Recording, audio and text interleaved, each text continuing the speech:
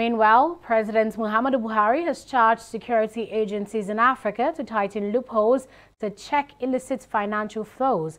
Buhari gave the charge at the 16th conference of the Committee of Intelligence and Security Services of Africa, CISSA, in Abuja. He stressed that development and stability on the African continent had been undermined by illicit outflows estimated to be about 60 billion US dollars annually.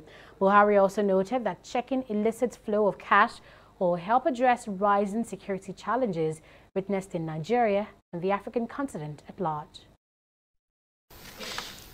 Criminals and their collaborators cheat the system through various practices, including trade mispricing, trade misinvoicing, tax abuse and evasion, as well as money laundering.